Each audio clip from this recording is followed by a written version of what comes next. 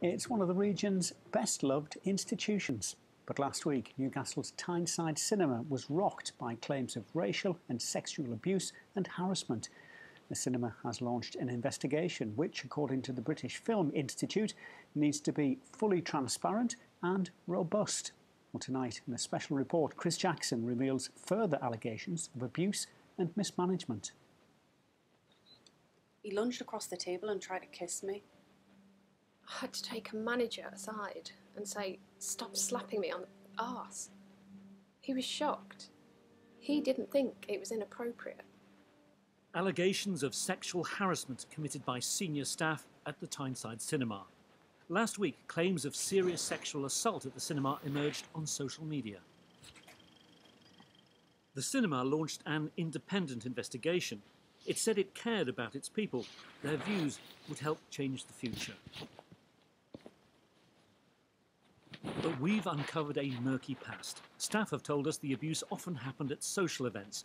It involved older, senior men, junior female staff, and drink, and it goes back years. On two nights out, he got me alone and tried to kiss me. I told him to stop. At a one to one meeting, he tried to put his hand in my lap. This incident allegedly happened a few years later and involved a different man. Who's behaving inappropriately with a colleague, using sexual innuendo and belittling. In this case, it was reported to a senior employee, but nothing happened. He said, I can't do anything. The victim has to come forward. We wanted it stopped, and it wasn't. I feel sick about that. A chance to nip a pattern of abuse in the bud was missed.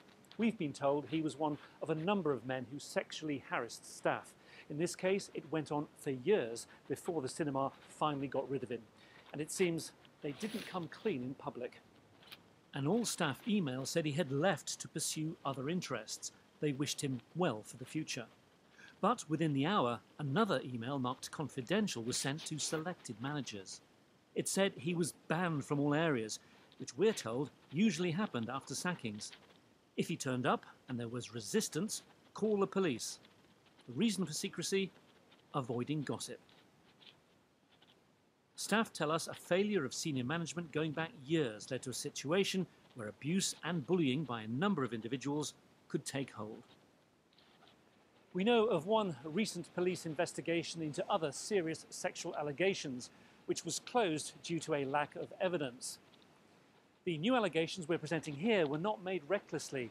The staff we've spoken to say they care deeply about the Tyneside cinema and they've come forward reluctantly.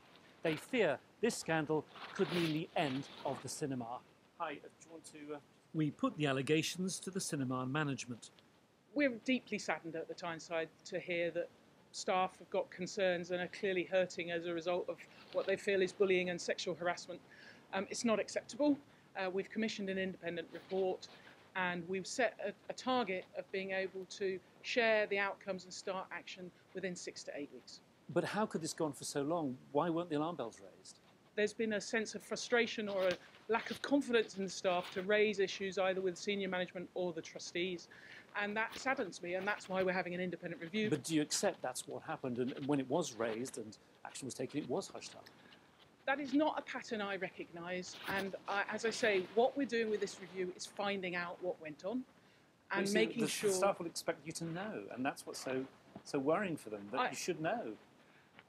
I agree that this is a very difficult situation, and it is deeply concerning and saddening to me that people have raised it and have not felt able to.